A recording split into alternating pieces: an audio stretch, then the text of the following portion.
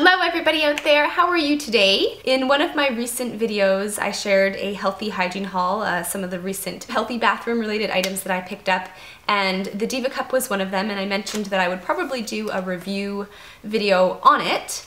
Um, and so that's what I'm going to do today is just elaborate a little bit more on my thoughts on the Diva Cup, some of the pros and the cons, how to use it a little bit, and just basically just kind of go over more info on the Diva Cup and all that good stuff. I'm a pretty simple girl in the way of feminine hygiene. All my life I've pretty much always preferred pads. I find them just a lot easier. So I never was too interested in really using a menstrual cup or the Diva Cup.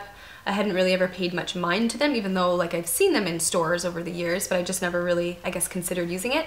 But because I had heard so many good things from um, some of my friends, some of the girls that I know, I just really wanted to give it a try. I really, really love the concept of the Diva Cup or really any other reusable menstrual cup. They're very cost effective, very environmentally friendly, very practical for a lot of women and so it makes sense why it appeals to a lot of women. So before I get started on some of the pros and the cons, I'm just gonna really quickly go over basically what the Diva Cup is. And this is it here. It's basically a reusable silicone bell-shaped cup that is designed to capture your menstrual fluids. That's that's basically what it is.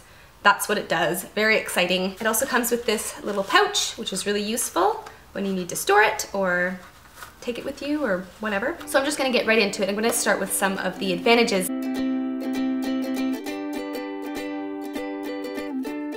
Like I mentioned, the Diva Cup is very cost effective and it's very environmentally friendly because it's reusable and can be used for up to about a year, probably a little bit longer depending on the condition that it's in, um, any cleansing agents that you use to clean it, like how you clean it. Because it's so reusable, it saves quite a lot of money. I think I paid between 30 to $40 or so for my Diva Cup.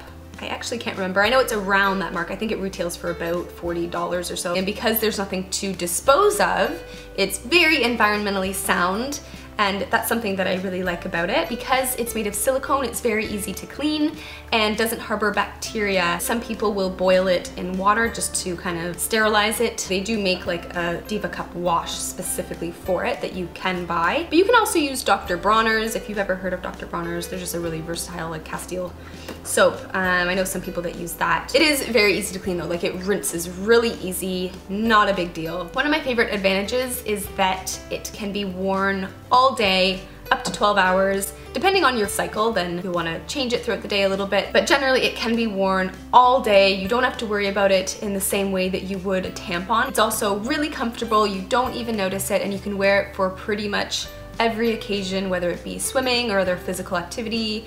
Um, you don't have to worry about it. And another benefit is that because no menstrual fluid is exposed to the air, there's no odor that you have to worry about. So despite there being a bit of a learning curve with um, inserting it and removing it properly. It is actually very easy to use, it's really straightforward, and it isn't actually as messy as you think it would be, considering the fact that you're like all up, all up in there but there definitely is a bit of a learning curve and it can take a few cycles to just get the hang of it and finding which technique works for you and um, kind of just mastering mastering the Diva Cup basically.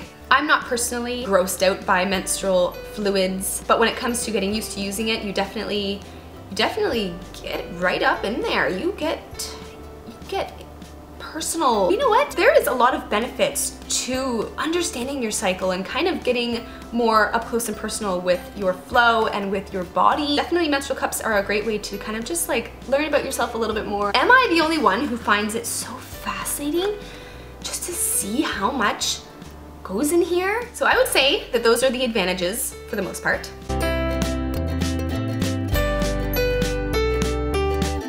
Pretty much all of the disadvantages that I have found with using the Diva Cup are related to just that it can take a bit of practice to learn how to insert it uh, with the correct fold. I will share with you guys a couple of the fold techniques that you can use. Um, and also removing it properly. The first time, the very first time that I ever used the Diva Cup, when I removed it, basically I didn't realize that you have to release the suction and so this sounds so like alien release the suction. Because I didn't realize that you have to release that suction, it felt like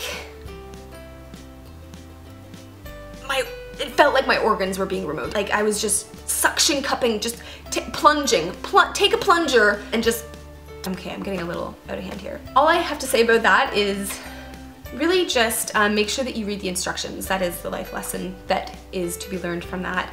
Um, it tells you all about the way to do it properly. Um, and that sort of thing. And yeah, it was it was definitely um, after I spoke with a few people, they're like, you know, you have to, you know, just make sure that the suction isn't still intact. And then it's just like not a big deal at all whatsoever. It's really a matter of just getting the technique down and, um, you know, having proper strategy when doing it. I think depending on where you are when you're using it, if you're out all day, maybe if you know that you have to use public washrooms. I know I personally prefer the comfort of my own bathroom when getting used to using it or I don't know, probably for the most part just with using it in general it's just nice to maybe not you know be in a place where you're like ah eh. What are your thoughts on that when it comes to convenience versus inconvenience with the Diva Cup? Do you, any of you find that it's convenient pretty much anywhere you go? I don't know. All in all, I think that the Diva Cup is extremely useful, very, has so many different benefits. A couple different ways that you can Oh my god. There's a couple different ways that you can insert the Diva Cup and so I'm just gonna show you guys um, a couple of the fold methods. So the first one is what is known as the C fold or the U fold and it's literally just this and then that so as you can see. Or you can do this one where basically you create more of a point so it's not as wide and it looks like that. And then obviously once it's in there, it'll just bloop. And then there's a bit of like a twisting motion that helps to just unfold it and create that suction. And then when removing it, you're essentially just gonna release the suction by kind of squeezing it and, um, and then you can just pull it out and it's uh, pretty simple that's about it. And that's where I messed up because I just kind of was like, ah, plunger. So that's pretty much it for my um, perspective on the Diva Cup and some of the pros and some of the cons. In my opinion, I definitely recommend either the Diva Cup or really any menstrual cup, giving it a try. Um, like I mentioned, very cost effective, very environmentally friendly, um, very practical, very, very useful, and um, a lot of women really love it. And I think more than anything, it's just really important to find products that work really well with you, that you feel comfortable using, um, and that you feel good about, and that's really all that matters. Everyone is so, so different, and like a lot of you had mentioned to me, there's a lot of different kinds of menstrual cups, lots of different brands, lots of different um, shapes and um, sizes of cups that you can always choose from and um, just kind of finding what works for you is really, really important and will just help to make period things more enjoyable. So that's about it. Please leave me a comment below with your thoughts on the Diva Cup or if you've used it or if you've used any other menstrual cups. And if you have any other tips or suggestions or recommendations, this video is definitely open to all of your guys' thoughts as well. I hope this video was helpful for some of you guys out there and I will see you in my next video. Bye!